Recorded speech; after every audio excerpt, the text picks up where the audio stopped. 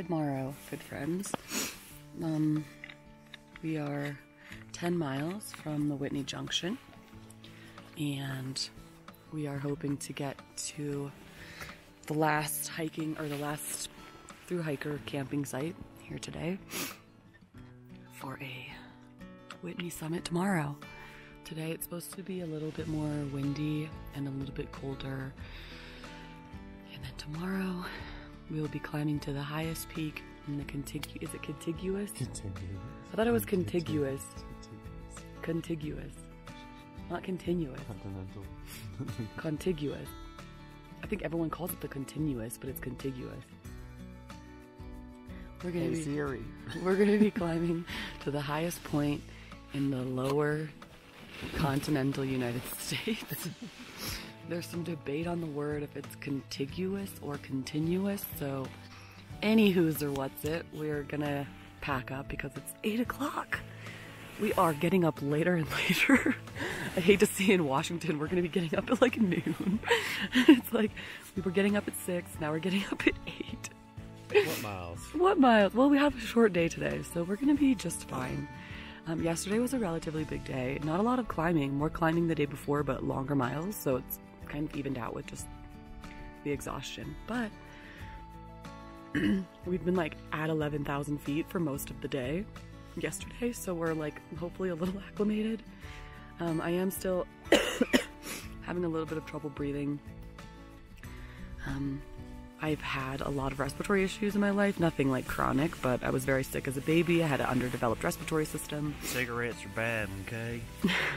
and uh, get a lot of respiratory infections and just a lot of things. So I'm a little more cautious about Whitney, and I know that I'm gonna just have to take it very slow and see how I feel and go from there. But enough about Whitney because today is not that day.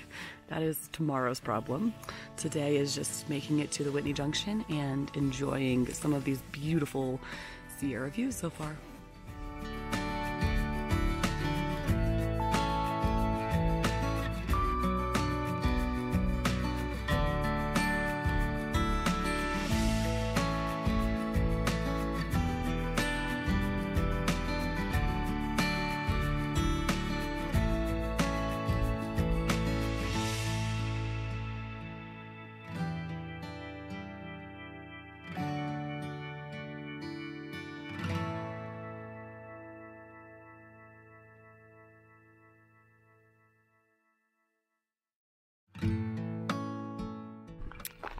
Okay, I know I've been dropping the ball with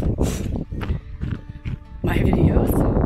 It's just been quite challenging for the first few days here, just with my breathing and the terrain and the climbs and the snow and the cold, cold, cold nights. But we have been hiking with quite a large group, and we're all trying to like figure out logistics to make it um, to Whitney safely, and then head towards Forester Pass tomorrow. And we've just been kind of cruising along. Um, so far, the Sierras have been quite surprising. I think we were expecting a little less barren, um, but it is also like winter time up here. But you can see just like through the trees, there's just mountains everywhere, and it's very beautiful.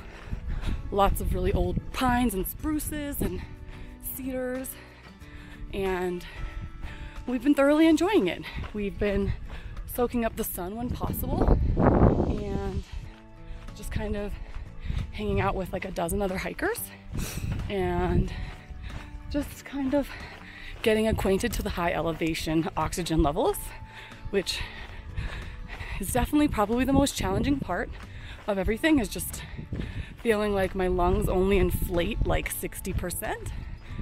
Um, and we've pretty much been above 10,000 feet for a while.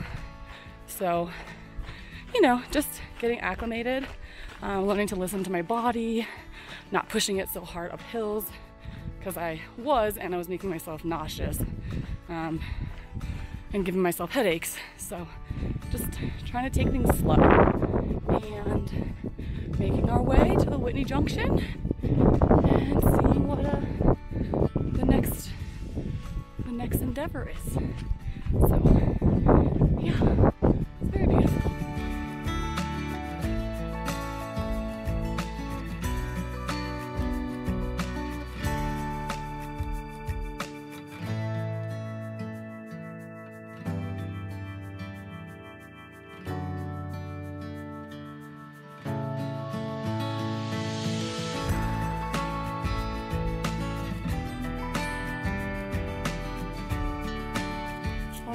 so we are settled in. We are tired, but tomorrow is not Whitney. So check back then. And for now, that's gonna be good night from day 44. Bye.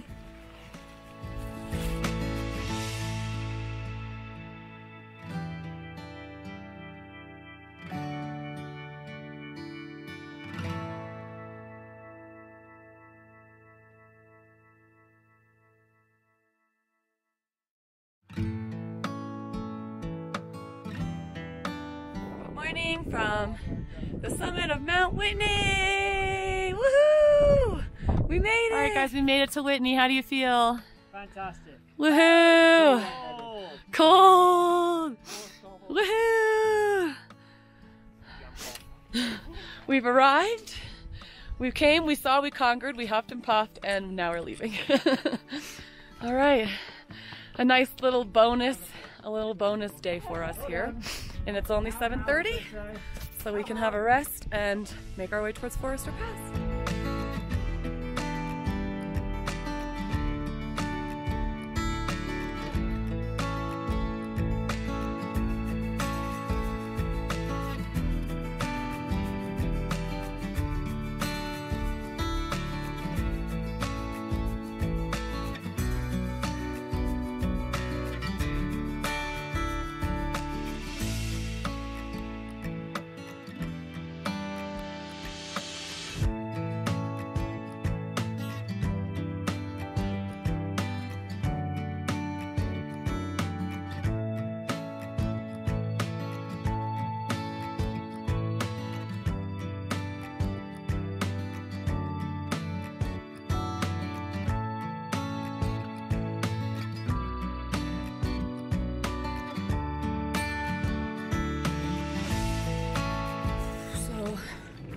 We're nearly back to where we left our stuff this morning. And I don't know, whatever happened up there, I am really struggling. Um, I think it's just we climbed 4,000, over 4,000 feet, and we were at a high elevation. I have been really struggling to get protein and just being slightly dehydrated because it's hard to drink water when it's frozen as you can hear it jingling around. Um, but I am like really struggling to get back. Um, I just feel very slow, sluggish, like even my leg muscles just hurt, which is weird for being almost 800 miles into a through hike. Like they just feel tired, which for me indicates not enough hydration and definitely lack of protein well, because my muscles are not able to replenish themselves. So when we get to Bishop, hopefully tomorrow, I will have to reevaluate food and maybe start eating protein bars, which I don't know. I can I can add some other things in there, but I know I'm just trying to make it back so I can lay down and eat and just rest for a little while. And on top of all that, obviously, we didn't get any sleep last night. As you can surely imagine if we were at the summit of Mount Whitney at about, I don't know, 7.30? was only about four, four and change up. And I think it's much less than that down, maybe less than three down, but maybe three and change down. But yeah, all those things combined. I am not in a good way today. Not in a good way. I think I'm having my emergency dinner for lunch today because I think it's an emergency. Alright, got our extra gear as you can see. Bear cans. And now we are headed back to the junction and headed towards Forester.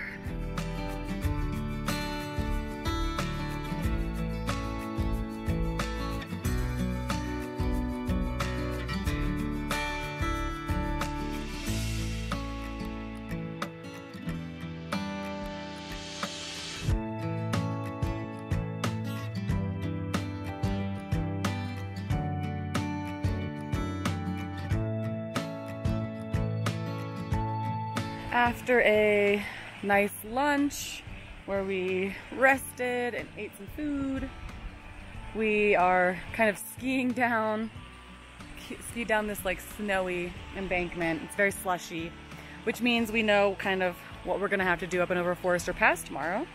So we know like at 9.30 the snow gets slushy and so to try to be up and over well before that. Um, we just have a few more miles today. Everyone is kind of floating on fumes after Whitney. Um, just got to get to the ranger station right before, like about four miles below the summit or before the pass. And we can all go to bed early, hopefully. Everyone seems to just be exhausted from a very long day and early morning, so.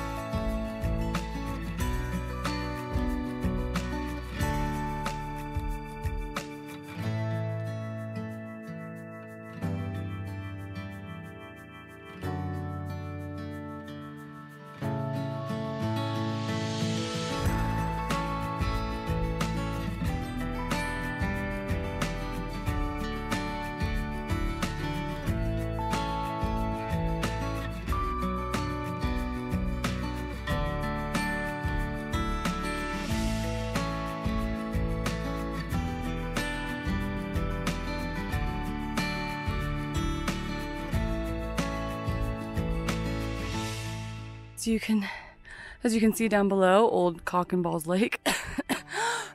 and we are on the final approach to Forester and then right up there looks a little sketch, but we've got equipment and I think we're ready to go.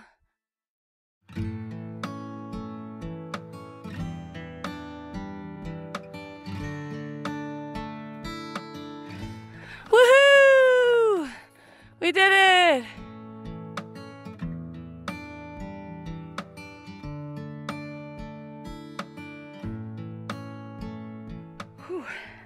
Glissading is cold on your ass.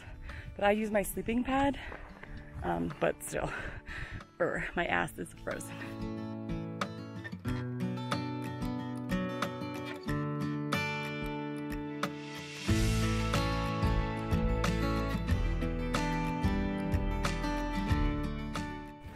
All right, we are headed up, up, up, up towards Glen Pass, but we are detouring at the Bullfrog Lake because we have a town to get to.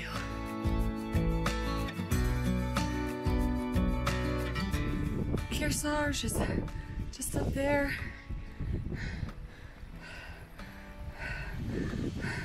You ready for town? Put my crusty lips on there.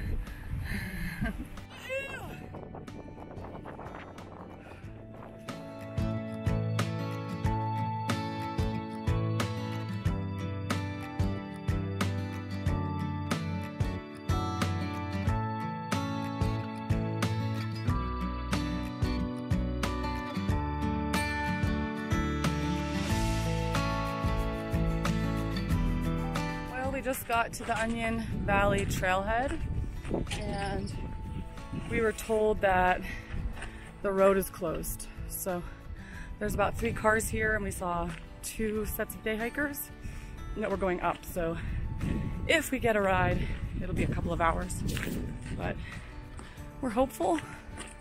It looks like the road's gonna be closed for a couple of weeks due to some boulders on the road, but I guess it's still passable. So Fingers crossed we'll find a ride or we'll start the 20 mile road walk.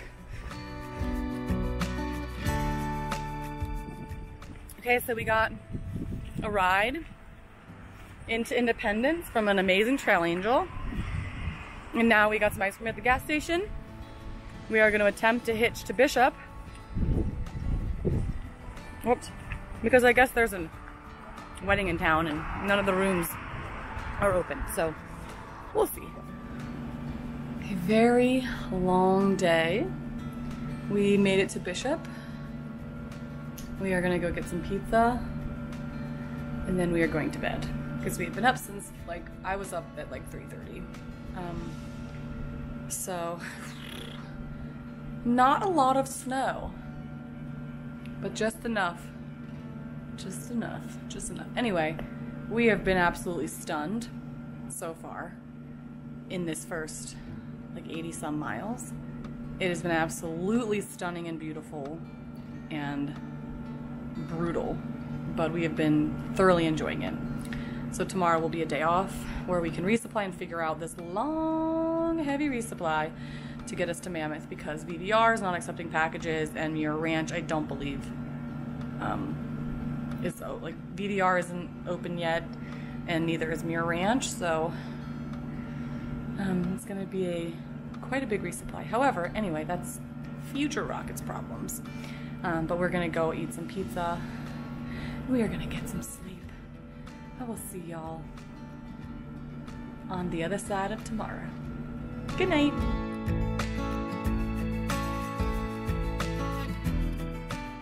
Day 47. We are waking up in Bishop today. You can see the mountains back there. They look freaking huge, man. Um, but today is a zero, so we can resupply, calculate mileage, soak in the hot tub, rest my lungs as they are not enjoying the elevation and the cold, and taking a zero. And tomorrow, tomorrow is the trudge back up Kearsarge Pass. That was not pleasant. I imagine the ascent with a 10 day or 8 day resupply is going to be even worse. But anyway, that's what we're doing today, and we are all about it. We have our 8 day resupply. Hopefully, that gets us from Onion Valley Trailhead to Mammoth Lakes. We have our, all of these are backpacker pantry except for this is mashed potatoes and stuffing. Then for lunches, we have ramen because they're light and packed with calories, and two couscous. We have our energy and our electrolytes with more electrolytes. And we have our breakfast bars, so we have eight of those. And then we have like our daily snacks here. So hopefully we do not starve on the way to Mammoth Lakes.